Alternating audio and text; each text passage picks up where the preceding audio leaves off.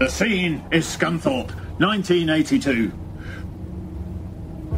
Ghetto Point, the world's tallest building is suddenly shaken by a huge and terrible explosion. The worst possible disaster has happened. There has been a terrible earthquake 100 floors up that has trapped over 300 people.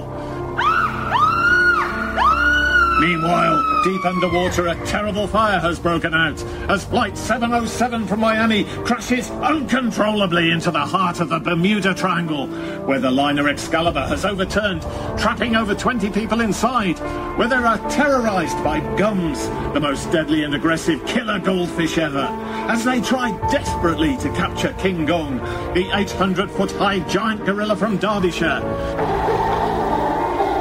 Chris the architect, and Paul Newman plays the fire chief, who tackle the 35-foot killer shark, while Fred Smith plays the shark hunter, who tackles a terrible earthquake 30 stories up.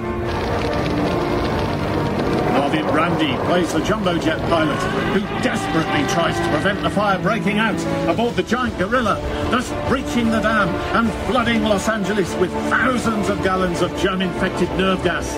As the police race against time to find the rabid nun who planted the hydrogen bomb that could destroy the entire airport, just in time to prevent the entire building from sinking beneath the waves of the giant man-eating grizzly bear that has terrorized the entire neighborhood of the sunken plain for generations.